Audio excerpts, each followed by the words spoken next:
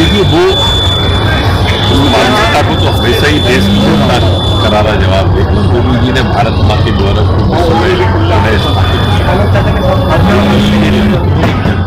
विश्वास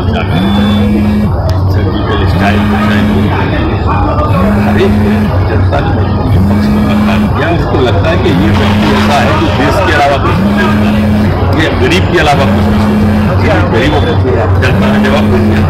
कोई जवाब नहीं दिया। तो जनता देगी इस देश को जो देगी डेमोक्रेसी है क्या बनाइए हम लोग जो लोग में किया देखते थे पहले से ही हमने की किस तरह का वातावरण। था क्योंकि समीक्षा करके जो खड़े होंगे, इसमें सबके लिए वापसी होना है।